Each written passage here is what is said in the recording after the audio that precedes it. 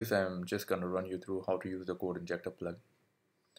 As you can see, I already have the plugin installed in the top right corner. It's this icon which looks like a puzzle. Click on the icon and uh, you can enable the injection by click by checking box by checking the checkbox. Okay, once you uh, enable the injector and when you hover on any element onto the page, you can see it would highlight the relevant reference current element so let's click onto an element. Okay.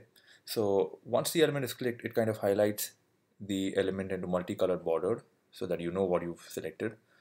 Mm, and a window is shown here where you can paste your code. I already have a code which I've copied. I'm going to try and inject an image. So let's paste it. Okay. I'm going to put the dimensions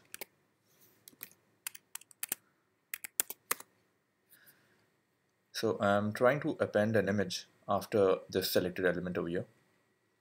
Click and go. So as you can see, we've successfully injected an image onto the page. We could now disable the injector. And uh, we have options such as taking a screenshot of the entire page, the selected area, or a page break. So uh, most of the folks are really uh, familiar with full page and selected area screenshots. I'm going to run you through a page break screenshot. Click on the page break. You have to select a top area and a bottom area. So let's go for a top.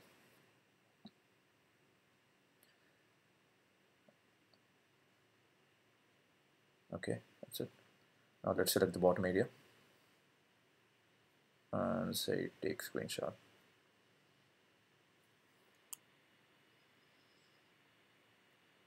Okay so here we go